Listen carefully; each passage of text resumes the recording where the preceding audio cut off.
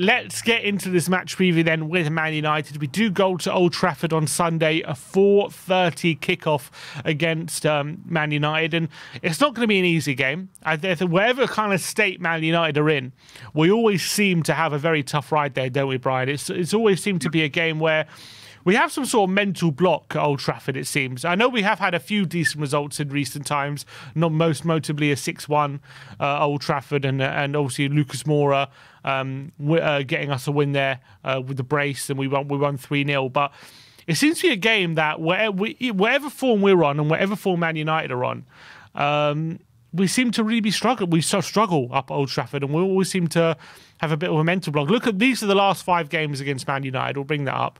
You can see here uh, that 3 2 loss, um, Old Trafford, that was when Ronaldo scored a hat trick. Uh, last season at Old Trafford, we lost uh, 2 uh, 0, and that was a game we went into it in decent form, and Man United was struggling, and we still got uh, turned over. Um, so, what is it about us at Man United? Do you reckon it's just a mental block against a team who we know is a big club and it's a big stadium? We just seem to always struggle when we go there, or is it just a consequence of uh, the quality of teams going there sometimes. I, I, honestly think this has become a mentality, or, or used to think that recently it's been a mentality thing. You go to Old Trafford, that huge stadium with the huge illustrious history. I think we've got in there and our head's not been in the right place. We know the last couple of years the team haven't been right off the pitch as well as on the pitch. Whereas now they're just bursting with uh, confidence, bursting with pride, bursting with enthusiasm. They're, they're ready to fight. Uh, and I think this year is different. I really, really do. Comfortably going to be different. We'll get there when we do predictions. But you do go to Old Trafford, and it is a stadium steeped in history. It may be falling down, and we all know what's going on with them and their owners. Um, I think it's a mentality thing, but I think uh, our mentality is probably as strong and together as it ever has been in recent history.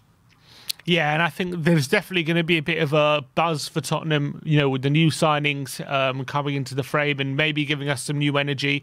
Because as Postecoglou said in recent in recent weeks, you know, we have been looking a bit tired, a bit leggy. We definitely saw that in the Burnley game as well. We weren't at our sharpest our best in that game. So hopefully the new signings will give us new energy, and obviously players returning from injury should give us a major boost as well. And it won't only give the fans a boost; I think it'll give the players and the team a bit of a boost as well going into Sunday. Um, but looking at the form of both teams going into this game, I think our form um, in general, last five games was it four four wins and uh, and a loss in our last five games. Man United two wins, two losses, and a draw. I think probably our form on paper is arguably better than how we've been playing. I think. I think our performances maybe have left a lot to be desired. Um, you can see uh, scored in the last five. We've scored. We scored ten. Man United only scored six. Um, conceded. We're level six each. But look, their home form. To be fair. They've uh, won three of their last five, and our away form, we've only won two of our last five. So we haven't been doing great away from home. And you cast your mind back to their last home game. Um, it was a very impressive 3 2 victory over Aston Villa when Villa were 2 0 up. So, um, you know, definitely can't take anything for granted when going to Old Trafford, um, albeit the game before that they lost 3 0 at home to Bournemouth. So they've been very Jekyll and Hyde the whole season, Man United, haven't they? But it's hard to know what kind of Man United are going to turn up. They've just been so inconsistent, haven't they, Brian?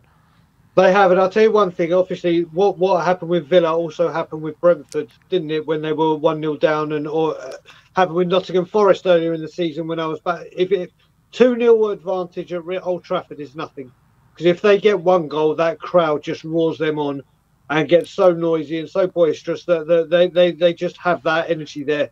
We all know about Fergie time from the past. Um, we can't we, we our concentration is vital we have to stay switched on we have to make sure if we do take a if we do go 2 new up it's like right okay don't switch off. Your composure, your your concentration is vital. And I think some of these teams have switched off and allowed that one goal, and then it's just opened Pandora's box at Old Trafford. We know mm. throughout that, and this is again going back to the mentality of going to there. They have a history of these kind of decisions going their way, Fergie time from back in the day, and how they get these things going their way at Old Trafford. So I think if we go there with the right concentration, the right mentality, that should see us through. Like you said, for, for them having the buzz of having uh, Ratcliffe there, you're going to see two new players mm. with new energy for us. potentially certain players back from injury.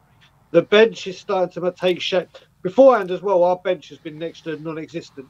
It's just been people on there. I think this time last year we had about three youth uh, products on the bench that had absolutely no chance of getting on the uh, on the uh, on the pitch. Whereas now that everything's starting to take shape, isn't it? The bench is looking better.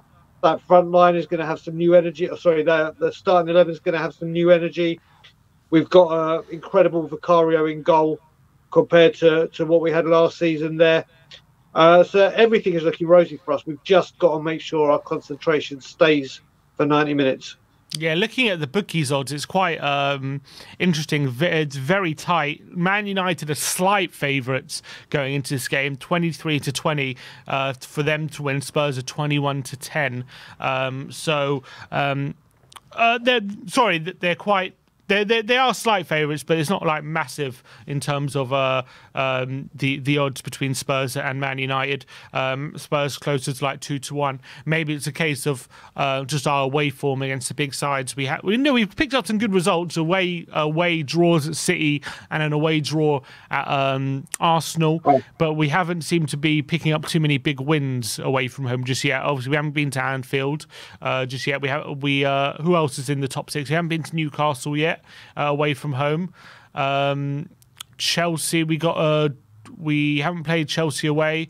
Brighton, we lost. West Ham away, we haven't played yet. Villa away, we haven't played yet. So we haven't had that that big like uh, statement away win yet, have we, this season? So maybe that goes into um, the thinking of Man United being slight favourites going into it.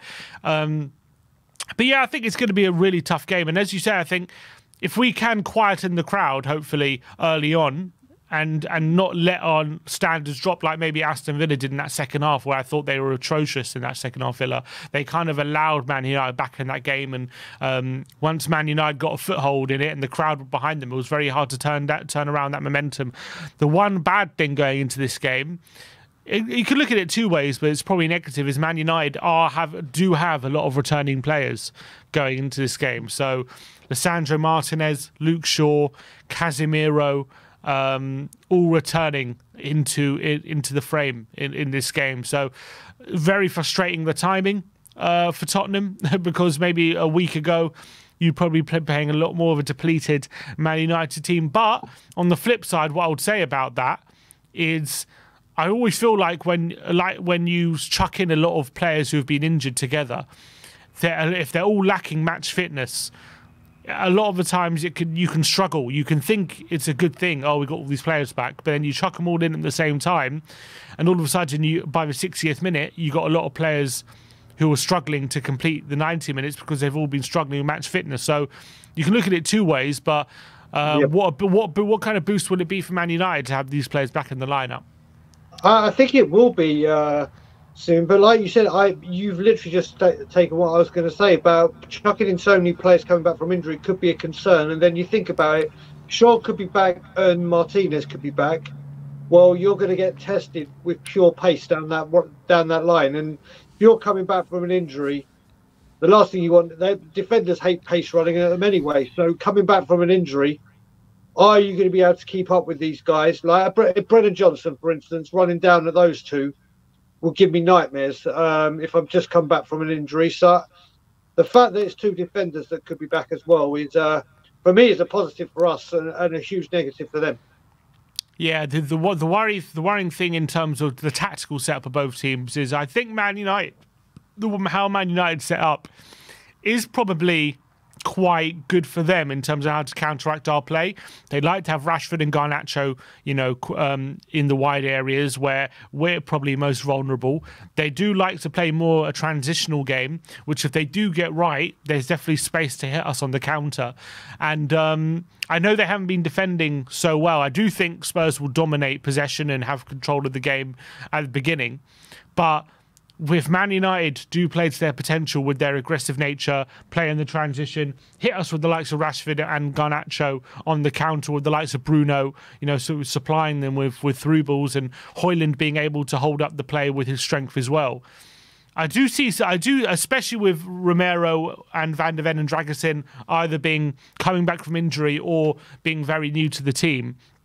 is there a potential of them catching us on a good day good day for them just because you know, maybe if it was a week later, Romero had a bit longer in, in, in, training and Van de Ven had a few more minutes in his legs and Dragusin had a week with the team, maybe we would be coming into this game a bit more ready. But because of this, the timing of the game, is does the timing suit Man United more or Tottenham, do you think?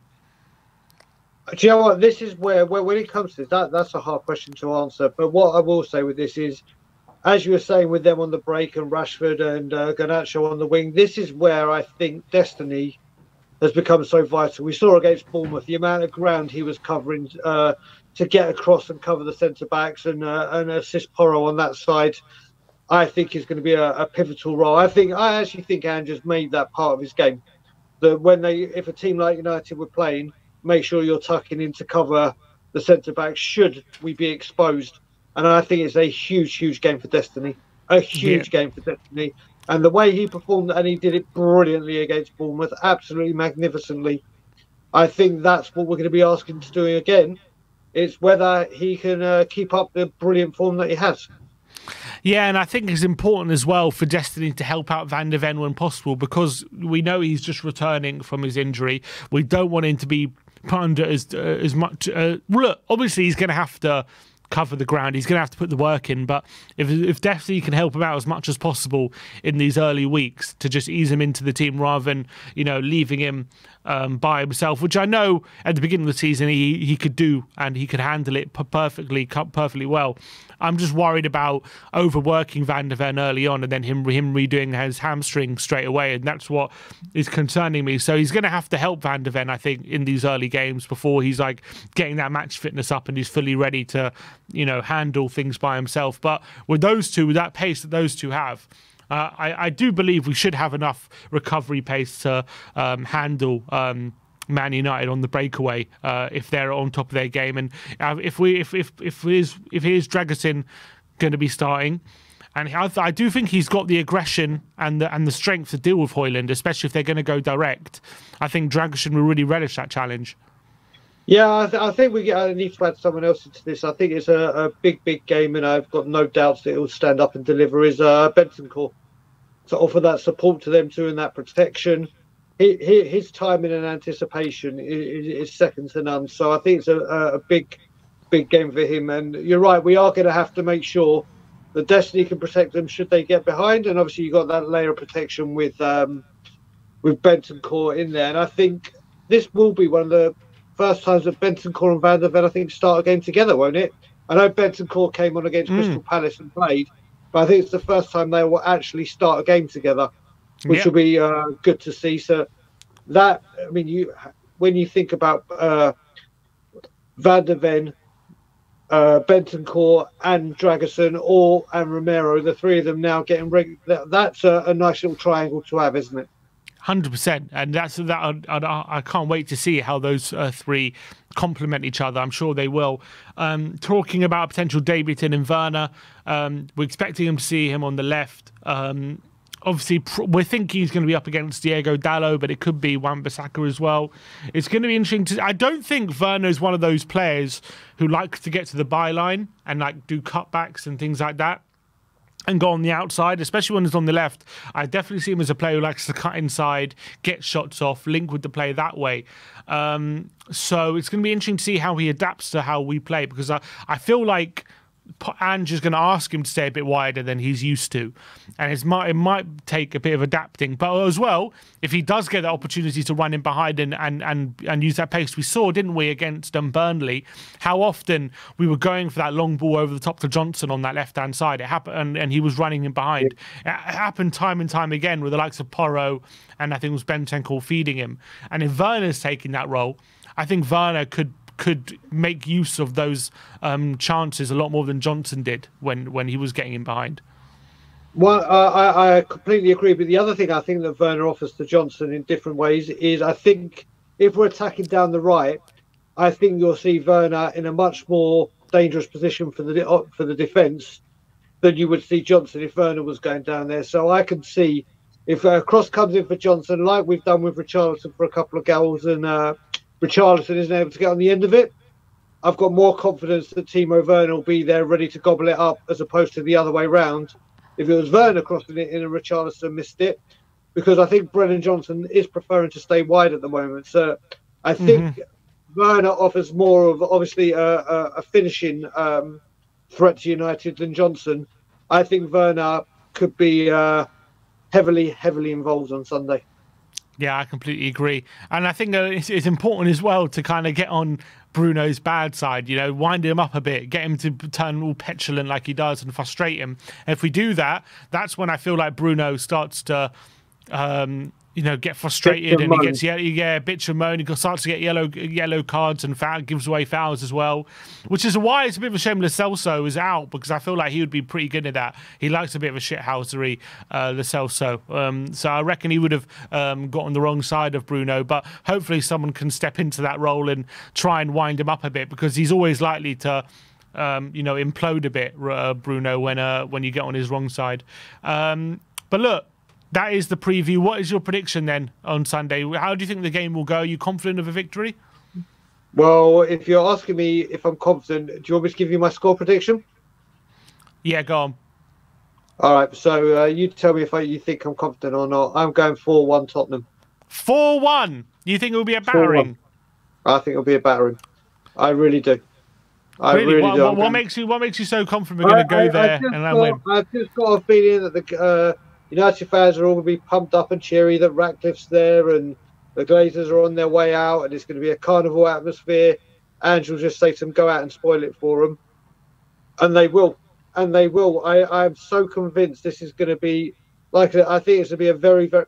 You can have a 4 1 where it's back and forth and whatever, and they might. I think this is going to be such a convincing victory. I really do. Uh, listen, you've got me on the positive. This January, the club's got me on the positivity train, and I go from one extreme to the other. And now I'm on the. I I, I literally think this is uh the mentality will be right, the players will be right. I think Werner's going to be heavily involved. I think Johnson's going to have a four-one Tottenham, four-one. For me, I'm not. I'm not going to be pessimistic, but I just, for me, if it was a week later, literally a week later, I think Tottenham would win this game but I just think the timing is just off for us. I think if Romero had more time and Van de Ven had more time and Dragusin had more time in the back um, going into this game, I think we would be would would would have a much better job of keeping United quiet. I just feel like they're catching us at the right time, just with defenders only just coming back, not having too much match fitness. Dragusin has only had one training session with the team. So whoever starts a centre back, I can see having a bit of a struggle at times. I reckon on Sunday. I feel like Man United are going to be pumped with uh, you know the new ownership and all that kind of stuff, and players come back from injury, and that home advantage as well could be crucial. So I'm, I'm going to go 2 2. I don't think we'll lose, but I'm going to go 2 2. I think we are going to struggle to contain them. But I do think that fresh energy we're going to have will um, allow us to be sharp and will get us in good positions. And I think Werner will be able to stretch Man United as well, which will help us find space. I just feel like they're catching us at a good time. They'll hit us in transition, and our I can see our defenders struggling with Man United's pace. I can at times. And so I am going to go 2 2 in this game. But let me know in the comment section below how do you see this game going? What your score predictions are? Um, are you are we right in how we're analysing how the game is going to go, or I want to know what your thoughts are.